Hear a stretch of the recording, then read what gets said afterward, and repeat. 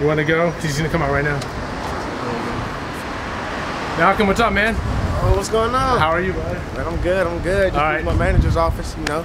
All right, cool. Hey, quick question. Yeah. I heard that 911 call. All right.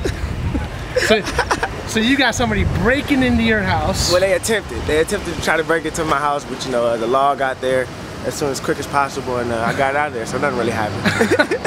but How you do, know, how do you stay so calm though? I mean, shoot, you just, you just can't stress. You can't worry about it. If you worry in the situation, you won't be able to figure out the problem, you know. So I right. tried to stay calm and get through it. That was it. You, you're a big boy. You're not little Walt anymore though, huh? Oh no, I'm grown. 19 now. You know, been working out for the ladies. You know what I'm saying? Got my abs and everything. I'm ready. Love it, know? love it, love it. Let me ask you this, Matthew Fox.